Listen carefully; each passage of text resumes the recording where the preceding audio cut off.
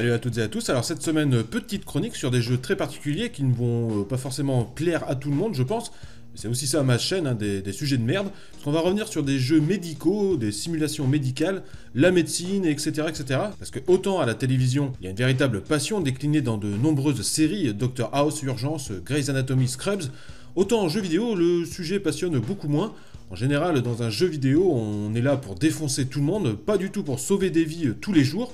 Bref, aujourd'hui, euh, donc, je ne reviendrai pas sur la tripotée de jeux flash par navigateur ou de jeux sur mobile qui sont euh, trop nombreux, avec des gameplays trop simplistes, donc trop peu intéressants. Cette semaine, une petite douzaine de jeux vidéo environ, comme une petite sélection, où l'on gère un hôpital, par exemple, on gère une pandémie, des jeux préventifs ou sérieux, bref, des jeux vidéo médicaux.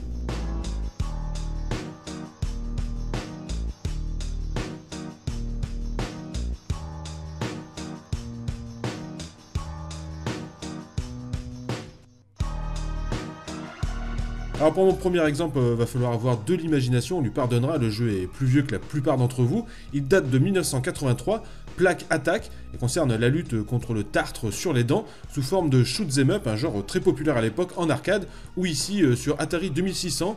Donc euh, pourquoi pas attaquer des aliments qui viennent pourrir nos dents Développé par Activision comme un jeu ludique et préventif, si vous dépassiez les 35 000 points, ben, vous pouviez envoyer un screenshot euh, à Activision et ces derniers vous félicitera en vous renvoyant un patch euh, plaque attaque, la grande classe.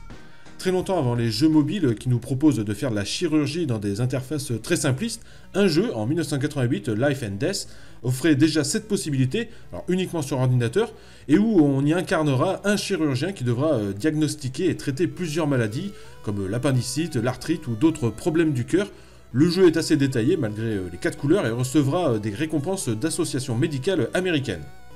En 1992, un éditeur nommé Raya Systems va se spécialiser dans les jeux médicaux euh, de façon ludique et préventive, les jeux vidéo étant très attractifs pour le jeune public, il s'agit donc d'un bon moyen de communication pour parler de maladies graves auprès des enfants, il faut pas se mentir, un Captain Novoline en 1992 était aussi une publicité déguisée, car le jeu était sponsorisé par Novo Nordisk, le fabricant d'insuline comme la Novoline.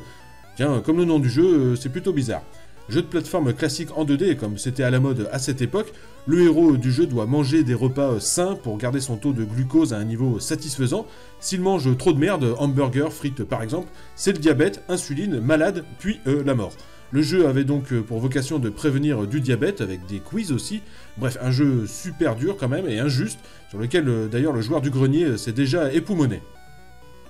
Deux ans plus tard, Sculpted Software se lance dans un deuxième jeu ludique et médical grâce à l'éditeur Raya Systems. Alors cette fois, on s'attaque à l'industrie du tabac dans Rex Ronan Experimental Surgeon. Sorti donc en 1994, il s'inspire du film L'aventure intérieure sorti au cinéma 7 ans plus tôt, ou alors de Chéri, j'ai rétréci les gosses en 89. C'est-à-dire que l'on va réduire un héros en tout petit pour l'injecter dans un corps humain et qui devra lutter euh, ensuite contre les méfaits du tabac. Le jeu Rex Ronan recevra d'ailleurs le support d'une agence américaine pour la santé. Le gameplay se décline en plusieurs phases. Hein. D'abord enlever le goudron, la nicotine, détecter les cellules cancéreuses et lutter contre des micro-robots qui ont été envoyés par la compagnie de tabac qui a tué le patient en tout cas qui l'a rendu malade. Un jeu très moyen et plutôt chiant, mais qui a le mérite au moins de dire que fumer, ben, ça tue. Ah, du coup, Raya Systems se lance dans deux autres jeux avec un autre studio, Wave Quest, dans des univers un peu plus loufoques, mais euh, pédagogiques et médicales, bien sûr. D'abord, Bronchies Bronchiosaurus en 1995, jeu de plateforme sur Super Nintendo qui aura pour but de prévenir de l'asthme. Et pour ça, on jouera un petit dinosaure euh, devant lutter contre la fumée de cigarettes, le vent euh, poussiéreux et d'autres obstacles. Du platformer classique, malheureusement très bas de gamme pour un jeu sorti quand même en 1995. C'est un peu la même chose pour euh, Paki et Marlon, toujours signé Wave Quest et Raya Systems, sorti euh, lui aussi en 1995. On dirait d'ailleurs le même moteur de jeu, seuls les décors ont changé euh, avec Bronchi. Du gros foutage de gueule, probablement. Cette fois, ce sont des éléphants que l'on incarne et qui préviennent les enfants contre le diabète, encore, un peu comme dans Captain Novoline. Ne pas oublier son insuline et de mesurer son taux de glucose régulièrement. Malheureusement, le quotidien pour tous les diabétiques. Alors chacun de ces jeux de Raya Systems était ensuite analysé par des instituts pour voir euh, les effets des jeux sur les enfants. Alors euh, ils prenaient très peu de cobayes pour jouer aux jeux, des enfants en général de 8 à 16 ans environ, et ils ont trouvé que les jeux aidaient les enfants à parler de leur maladie euh, aux autres, à leurs parents et à leurs copains, pour ne pas être stigmatisés. Donc bon, pourquoi pas des jeux pédagogiques, et pourtant il n'y aura pas beaucoup d'autres par la suite, quasiment aucun dans les années à venir. On peut citer tout de même Sim Health en 1994 par le studio Maxis, créateur de SimCity et d'une flopée de jeux en sim. Alors ici il s'agit de simulation de gestion du système de santé américain, un jeu qui, pour l'anecdote, sortira en plein débat au Congrès américain pour le nouveau plan de santé proposé par Bill Clinton. Donc quand même un peu chiant ces démocrates à vouloir offrir un système de santé aux pauvres. Obama fera le même coup 20 ans plus tard. On retrouve ici une interface euh, faisant penser à SimCity 2000. Le jeu est assez dur dans ses mécaniques et surtout assez ennuyeux. Gérer le système médical d'un pays, forcément, ça donne pas trop envie.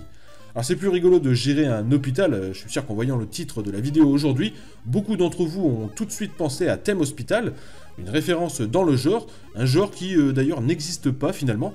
Thème Hospital a été développé par euh, Bullfrog Productions, alors au sommet de sa renommée, après les sorties du mythique Populous, Theme Park bien sûr, ou encore Syndicate, Powermonger ou Magic Carpet, un peu moins connu, et la même année en 1997 de Dungeon Keeper.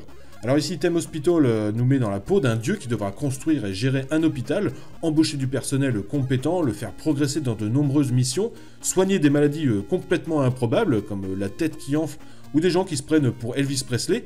Un excellent jeu, très décalé dans l'humour, de la bonne gestion, un peu répétitif certes parfois, et pendant qu'il y en a qui se marraient sur Quake, bah, il y en a d'autres qui se marraient sur Thème Hospital.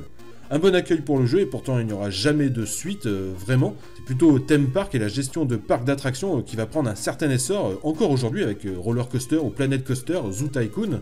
Sauf en 2007, surfant sur le mot Tycoon, Codemasters va éditer Hospital Tycoon, qui sera largement critiqué pour reprendre le concept de thème hospital. Après tout, pourquoi pas, le jeu avait bien fonctionné à l'époque, intéressant de le revoir en 3D justement 10 ans plus tard.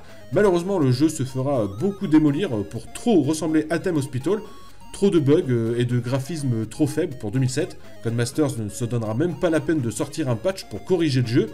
On remarque surtout, euh, après Thème Hospital en 1997, bah, que le genre jeu médical ne va franchement euh, pas trop intéresser les gens.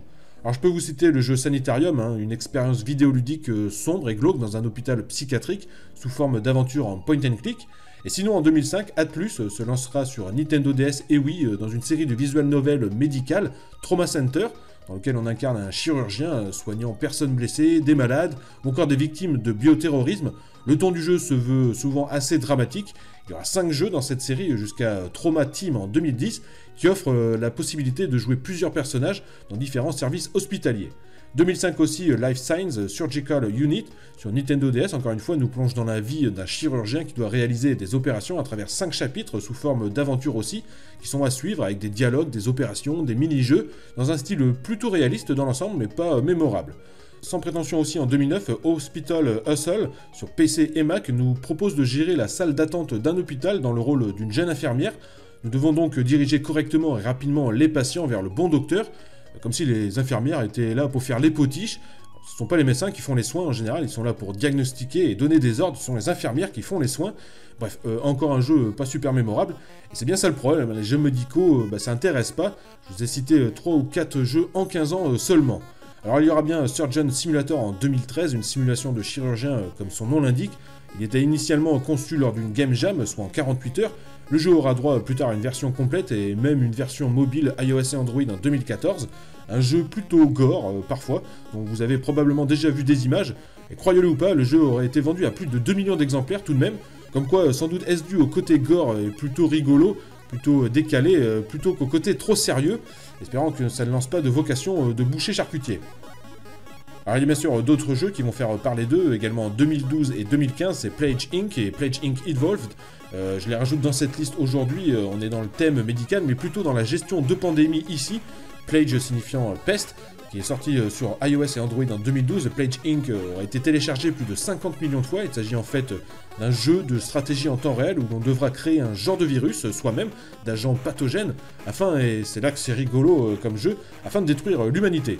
Beaucoup de variables sont prises en compte dans le jeu euh, qui est assez réaliste en général pour simuler la fameuse pandémie de la maladie que l'on vient de créer, mais il faudra faire attention aux chercheurs qui ne tarderont pas à trouver des remèdes à nos plans euh, diaboliques, et le ton est plutôt perçu comme sérieux, voire inquiétant, et fait réfléchir quand même si ça devait pas exister en vrai.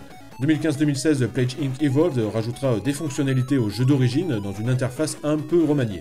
Pour finir, restons dans la critique du monde moderne avec Big Pharma, sorti en 2015, un jeu de simulation euh, dans lequel on devra prendre le contrôle d'un manager d'une compagnie pharmaceutique entre drogue et médicaments, placebo.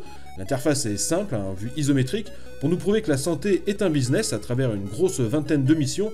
Il faut faire de la recherche, puis fabriquer euh, des produits, créer des médicaments, puis les vendre bien sûr. On pourra trouver un ton euh, sarcastique contre l'industrie pharmaceutique, mais ce sera également très ludique pour découvrir cette industrie parfois peu connue, ça reste du jeu vidéo, mais ça présente euh, les choses de façon parfois réaliste, ce qui n'est pas forcément mauvais. Alors j'aurais pu citer aussi euh, le simulateur d'ambulance euh, pour faire le genre rigolo, mais bon le jeu est bien pourri, ou encore la multitude de jeux mobiles où l'on peut jouer quelques instants à un chirurgien boucher charcutier ou gestionnaire d'un hôpital dans des interfaces très simplifiées, jouer un docteur, un dentiste, ça marche bien ça en général sur mobile, arracher des dents, Chirurgien plastique, euh, oui, probablement, j'ai pas vérifié, mais je pense que ça doit exister, il a pas de raison. Et c'est pas ce qui manque sur mobile, hein, des petits jeux, ou alors en format flash sur navigateur aussi. Sur console et ordinateur, euh, à part des concepts novateurs comme Big Pharma ou Plage Inc., euh, des jeux à conseiller en tout cas, il y a aussi des serious games créés souvent pour des professionnels de la santé ou pour ceux qui font leurs études dans le domaine. Mais en général, on peut dire que le style jeux médicaux a complètement disparu, difficile de renouveler le genre gestion d'hôpital ou mise en scène d'un docteur sans tomber dans le répétitif à se demander comment ils font dans les séries américaines à se renouveler tout le temps avec des scénarios incroyables. Ils sont quand même fort séricains. Merci en tout cas d'avoir suivi cette petite chronique sur les jeux médicaux, j'espère qu'elle vous aura plu quand même. J'ai peut-être oublié quelques jeux, n'hésitez pas à les soumettre euh, en commentaire. Un petit partage sur les réseaux sociaux, un like, euh, tout ça, tout ça, et on se retrouve très vite pour une prochaine vidéo sur ma chaîne. A bientôt, ciao